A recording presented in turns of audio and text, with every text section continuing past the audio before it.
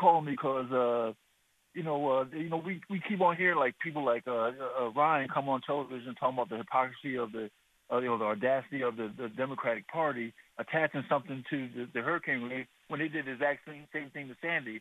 I just want to say that you know, I just you know, the Democrats got to start really start hammering and stop being timid and worrying about well, you know, everybody, you know, we want to be doing the right thing. You are doing the right thing. Attack because, in the immortal person, there is no such thing as try, just do.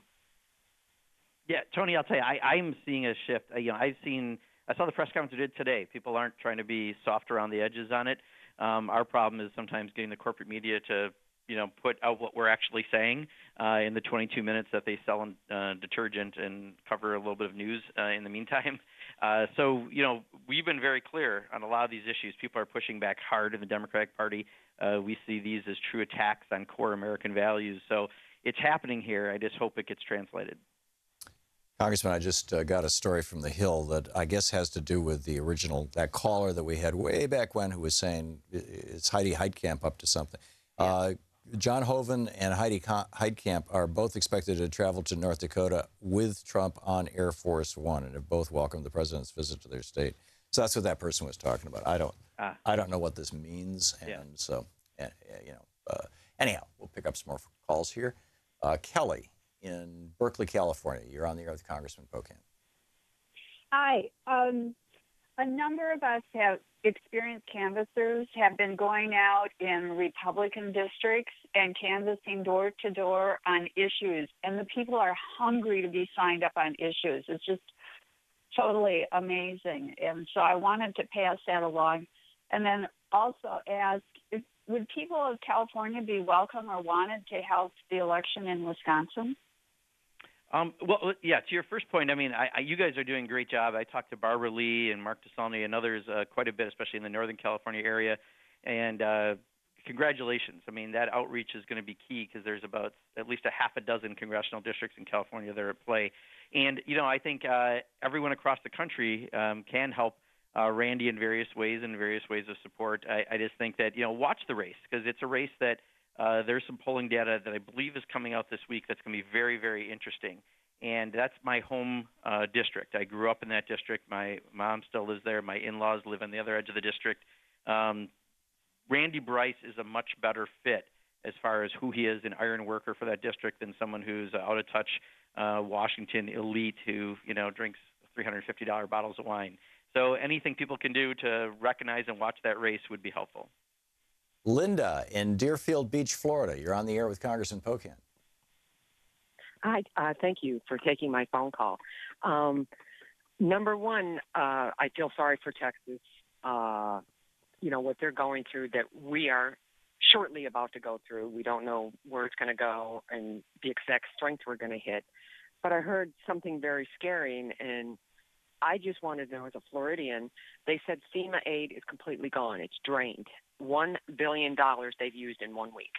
And there will be no aid for Florida. And I'm curious if that's really true. So that's what we're taking care of. If the bill that we just voted on, uh, which I think three people in the end voted against, um, has to go to the Senate, and as long as it's not amended uh, by Friday, we would run out of FEMA money.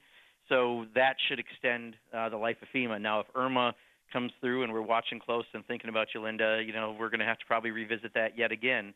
Um, but you know, hopefully uh, it doesn't happen. Uh, but uh, with the bill passing by Friday, we should make sure that FEMA is fully um, uh, able to handle any emergencies that come as of Friday.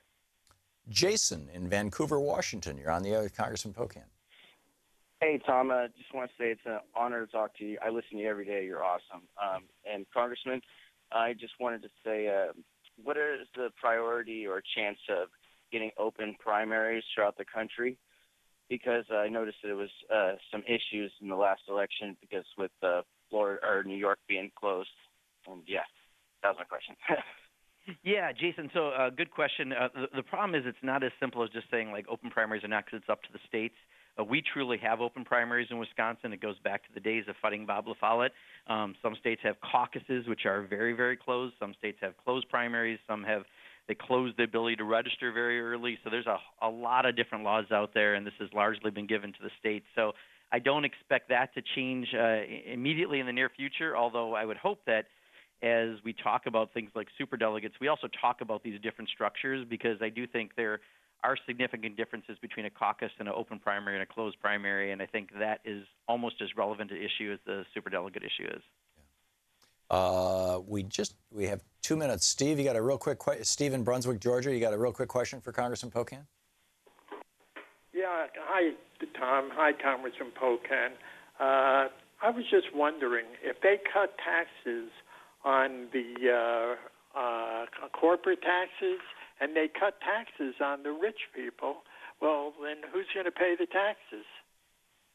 Steve, you that's a hundred thousand dollar question, right? I mean, actually, it's a real simple question. It, it means you know we're going to see a little bit, a nickel or two thrown at us, but then when you pay all the extra fees for things that they had to cut in order to fund that, um, you're going to wind up paying more. But it's a, a stealth tax increase on uh, middle class and those aspiring to be in the middle class, so that we can uh, take care of their uh, campaign donors, quite bluntly. So uh, that's why we've got to fight anything they want to do. And don't forget, the corporate tax rate's not the real rate that people pay. Uh, the effective tax rate is what people really pay. That's between 16 and 18 percent. So you know, a lot of the rhetoric that they're going to put out there in the next few months, be prepared to counter the rhetoric because uh, I can hear it already. What they're doing in Washington, it's it's not very truthful. Congressman, in the final minute here uh, of the hour, uh, what should we be watching for, and, and is there anything that we, you know, we should be calling our members of Congress and saying, please do or don't do this particular thing? You know, I would say start with DACA. You know, I think it's real important that everyone reach out to their member of Congress and their senators about DACA. Uh, and then repeat that message on social media because this is really important that we get this done. We need to put pressure to get it done in September. Um, also, you know, we're going to have the whatever comes through the budget this week. The appropriations process isn't real. We're probably going to have some kind of continuing resolution because Republicans still can't govern, even though they're in charge of everything. Just try to keep the priorities uh, that are out there on spending, so that we're not cutting, you know, programs like Meals on Wheels, like the president originally proposed. But DACA and the budget are probably the two most pressing, and just keep very aware of tax uh, issues.